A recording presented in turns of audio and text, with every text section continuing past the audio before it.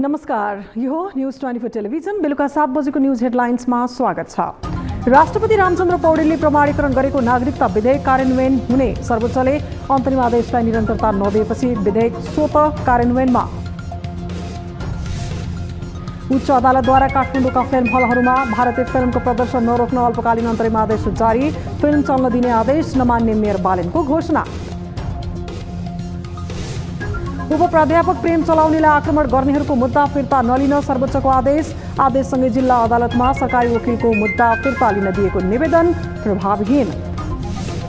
बालुवाटारमा प्रधानमन्त्री प्रचण्ड र विप्लव बीच भेटवार्ता माओवादी आन्दोलनको उपलब्धिको रक्षा र पार्टी एकताबारे गम्भीर छलफल समाजवादी मोर्चाबारे पनि कुराकानी।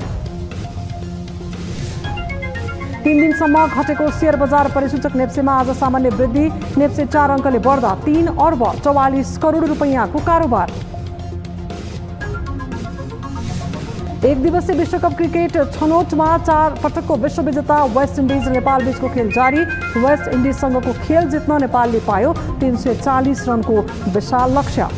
र चिनको निङसियाङ स्थित एक रेस्टुरेन्टमा विस्फोट हुँदा एकतिसजनाको मृत्यु अन्य सातजना घाइते। घटनाप्रति चिनिया राष्ट्रपति सी जिनपिङद्वारा दुःख व्यक्त।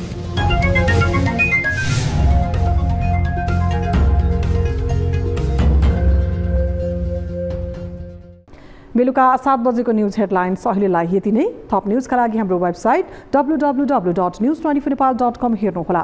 साथै हामीलाई फेसबुक ट्विटर र युट्युबमा पनि फलो गर्न सक्नुहुनेछ। यस्तै मोबाइल भाइबर र इमेलबाट ट्वेन्टी फोर हेल्प डेस्कमा कुनै समस्या र गुनासो छन् भने सम्पर्क गर्न सक्नुहुनेछ। अहिलेलाई बिदा दिनुहोस्। हामी निरन्तर न्युजमा छौँ। नमस्ते।